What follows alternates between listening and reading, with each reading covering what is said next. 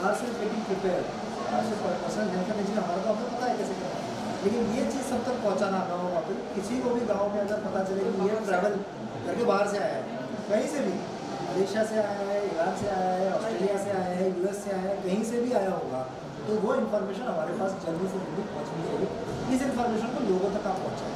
Media को भी मैं ये करना चाहूँगा कि ट्रैवल हिस्ट्री अगर किसी की हो तो बताएँ। बस इतना बताएँ।